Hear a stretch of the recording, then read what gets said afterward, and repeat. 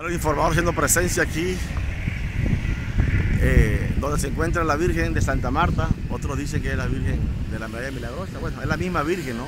Unas vocaciones de la Virgen María.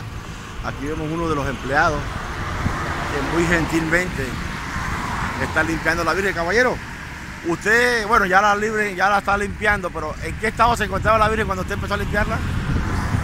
Es desastroso, eso está que no se le veía nada. ¿Qué sintió usted al ver a la Virgen así tan, tan deteriorada así? O sea, eso, eso se le van los pensamientos de que de pronto sea vandalismo.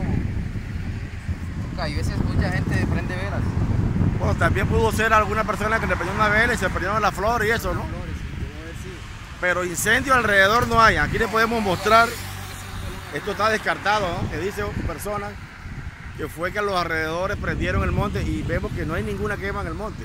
No, no, eso no O sea, manos vandálicas o puede ser la otra hipótesis, un velón que se quemó y alcanzó la imagen de la Virgen.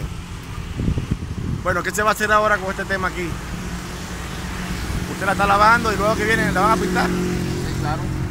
Hay que renovarla de nuevo. Bueno, vamos a darle aquí a- el crédito a esta fábrica de mármoles que se ha tomado la tarea de restaurar a la Virgen. Aquí vemos